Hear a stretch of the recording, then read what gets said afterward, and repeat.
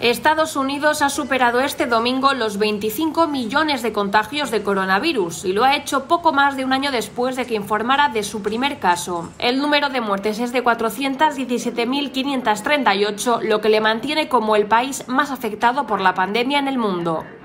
La cifra de los 25 millones de casos de COVID-19 supone un 25,2% del total mundial. En cuanto al número de fallecidos, Estados Unidos prácticamente dobla a Brasil, que con 216.445 decesos ocupa el segundo lugar en las estadísticas. Al país norteamericano le siguen el número de casos India con más de 10,6 millones y Brasil con más de 8,8 millones. La Universidad de Hopkins ha señalado el 21 de enero de 2020 como el día en el que se reportó el primer caso del virus en Estados Unidos, que 367 días después ha sido contraído por el 7,62% de la población estadounidense.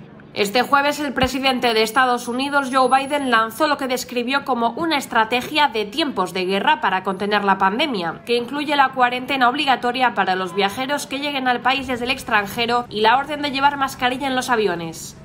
En su primer día entero en el poder, Biden se centró en el reto más urgente que afronta su gobierno, una pandemia que ha dejado más muertes en Estados Unidos que en ningún otro país y ha superado las cifras de caídos estadounidenses durante la Segunda Guerra Mundial.